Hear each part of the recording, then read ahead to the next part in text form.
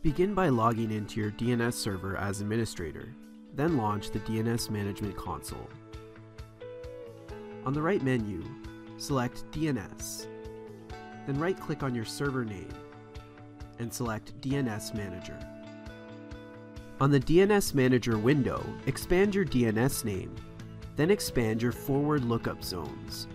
There you should see your domain name zones. Right-click on your domain name and select Other New Records. In the Select Resource Record Type menu, select Text or TXT, and then select Create Record.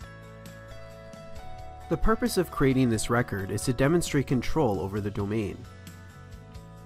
In order to do so, use the information provided by your installed DNS token and copy the information shown here under DNS entry name to your TXT record name. For the text field, you must provide the random value that you were supplied to verify this domain name. Copy the random value as shown here into your TXT record.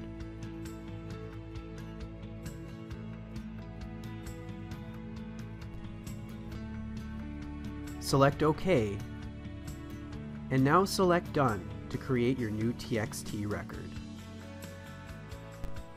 Your TXT record has been added, and as soon as your random value is propagated, the Entrust Datacard verification system will automatically capture and approve the domain for use.